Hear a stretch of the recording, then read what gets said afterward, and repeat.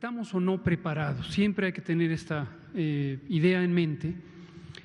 pero como señala el doctor Cruz Vega, no se trata de que el gobierno o las instituciones se preparen solas, porque la mayoría de la población es la población, no quienes trabajamos en el gobierno. Y la preparación es un esfuerzo de todas y todos, es un esfuerzo de Estado. No se hace en un día y nunca acaba. Siempre hay que seguir preparándonos.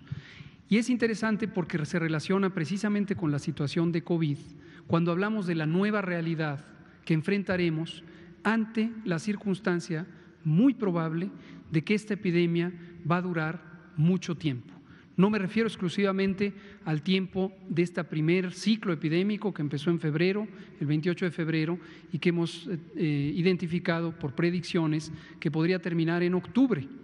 me refiero a que un escenario muy posible, muy posible es que la epidemia de COVID-19 esté teniendo eh, nuevas oleadas o nuevas eh, recaídas en términos epidémicos, en donde volvamos a tener periodos de transmisión del virus SARS-CoV-2 causante de COVID. Como esto va a estar ocurriendo por un tiempo hasta hoy impredecible, pero que podría extenderse al menos por un par de años, dos o tres años, la preparación ahora es para vivir y convivir con un agente infeccioso como es el virus SARS-CoV-2 que causa COVID-19. Y la preparación implica que sepamos vivir y convivir con el virus, que regresemos a nuestra nueva realidad, que cambiemos nuestras prácticas de vida en muchos sentidos, incluyendo la prevención y las prácticas higiénicas, la sana distancia, el lavado continuo de manos, el proteger el estornudo, el quedarnos en casa, el uso de cubrebocas en espacios cerrados en los que no se puede conservar la sana distancia, entre otras medidas. Desde luego las instituciones tendrán que seguir trabajando en expandir las capacidades de nuestro Sistema Nacional de Salud, que de por sí eran muy limitadas, después de 40 años de un desarrollo muy pobre, muy precario, de desgaste de una infraestructura física eh, que no se mantuvo al día, de una escasez de personal de salud de más de 240 mil personas profesionales de la salud. Así empezamos, no lo olvidemos, así empezó